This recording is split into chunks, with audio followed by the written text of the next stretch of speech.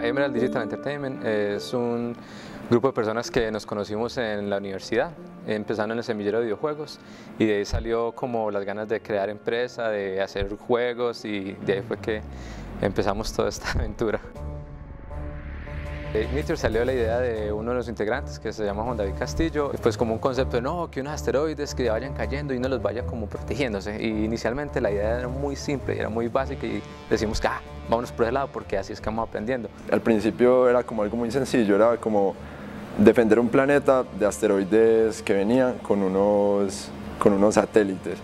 Ya después le comenté la idea a Rodrigo y al equipo y pues fue como una bola de nieve y pues, se fue creciendo, se fue creciendo hasta el punto pues que nos demoramos un año y medio en terminarlo. Empezamos con una línea de diseño muy diferente a lo que está ahora, hicimos varias, eh, el diseño de interfaces eh, cambió varias veces. Cuando empezamos a diseñar ya toda la idea del juego, ese juego empezó a crecer eh, exponencialmente y se volvió a, lo que ya es Meteors, que ya hay ocho satélites distintos, uno puede defender con armas distintas, que portales, que misiles, que láseres, que todo tipo de cosas. Nos inspiramos en dos tipos de, de, juegos muy viejos, pero muy conocidos, que son hechos de Atari. Entonces es una combinación de lo que es Asteroids con Missile Command, que no tiene unos, eh, unos misiles que no va disparando y, y van cayendo pues, una lineecitas, sino tiene que bloquearlas para que no le destruyan la ciudad. Pues yo ya había participado en desarrollo de videojuegos, pero cosas muy pequeñas.